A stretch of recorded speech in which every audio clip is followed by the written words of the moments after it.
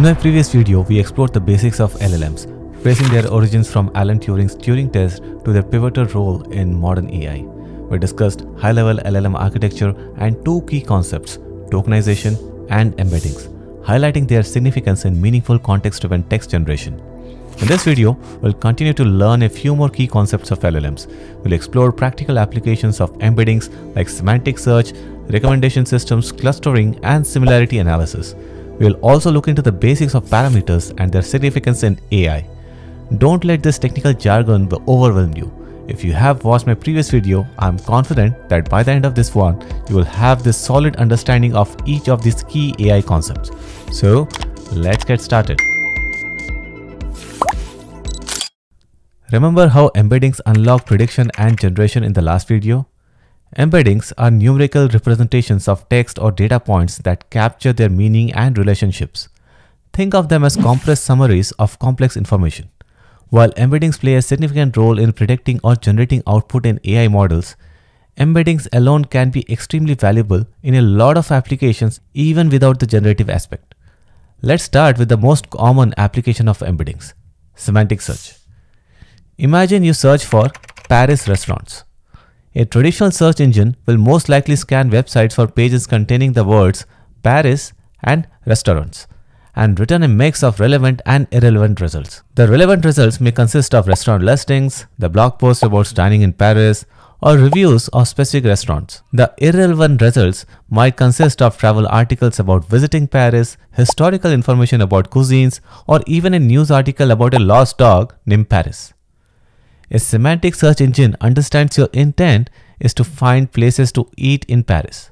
It considers additional factors such as your location and prioritizes Paris restaurants near you.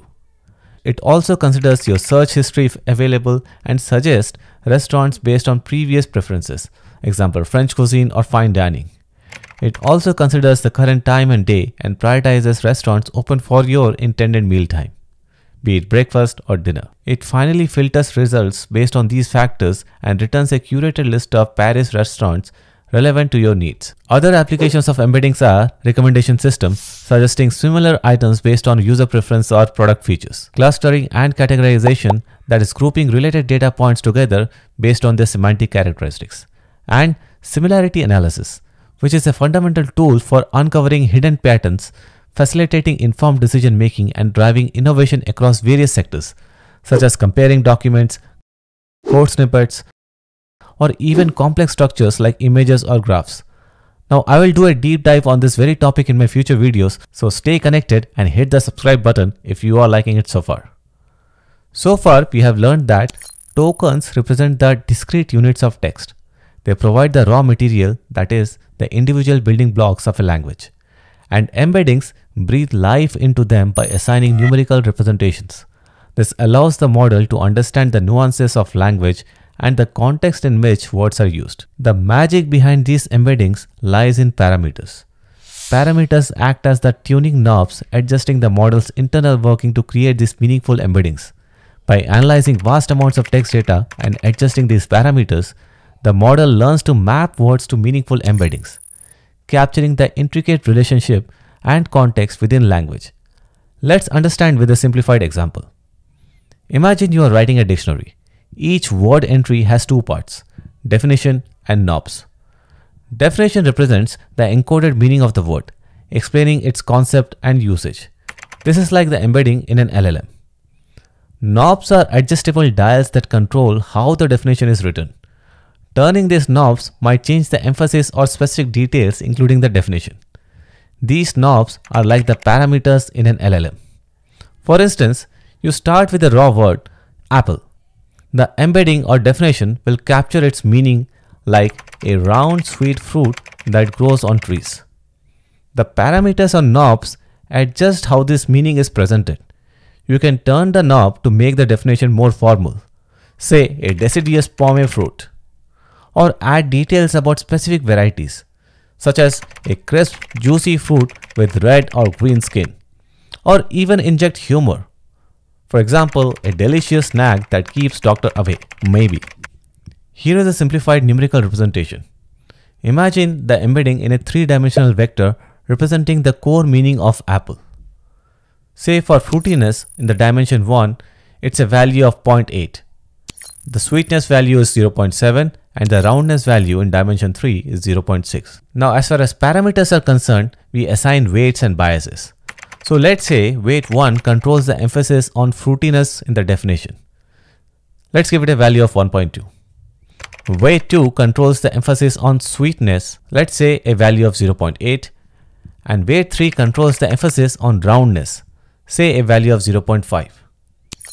The bias influences the overall tone of the definition, say a value of 0.1. Now these parameters and the embedding interact to generate the definition. The weights amplify the corresponding dimensions in the embedding. So fruitiness is 0.8 times 1.2 which is 0.96. Sweetness is 0.56 and roundness is 0.3. Finally, the bias adds a slight positive slant. So the final values are 0.96 plus 0.1 which is equal to 1.06 for fruitness. 0.56 plus 0.1 equal to 0.66 for sweetness and 0.4 for roundness. So based on these adjusted values, the LLM might generate a definition for apple like a highly fruity, somewhat sweet and round fruit. The knobs on the dictionary wouldn't be physical dials but rather numerical values within the system. These values would influence how the definition is written. For example, increasing a specific parameter might make the definition more formal, while another parameter might add details about specific varieties. These parameters could be represented as weights and biases. Weights would determine the relative importance of different aspects of the meaning in the final definition. For example, a higher weight for sweetness might lead to a definition that emphasizes the sweetness of the apple more than its roundness. Biases could act as starting points for the definition, influencing the overall tone or style. For example, a positive bias might lead to a more positive and descriptive definition. This is a simplified example with only 3 dimension and few parameters. Real world embeddings and parameters can be much more complex. My purpose here is to illustrate the concept, not provide an accurate representation of how LLMs actually work. The key point anyways is to remember that the embedding captures the core meaning of the word like the dictionary definition, and the parameters fine-tune and adjust how this meaning is expressed, similar to the adjustable knobs in our dictionary example. As you can imagine, parameters are the backbone of LLMs, allowing them to learn from data and perform complex tasks. Parameters are the internal settings of a neural network that can be adjusted through training to better predict and generate accurate outputs. Another distinction that is commonly used exists between model parameters and prompt parameters. Model parameters can be used at multiple levels in an LLM.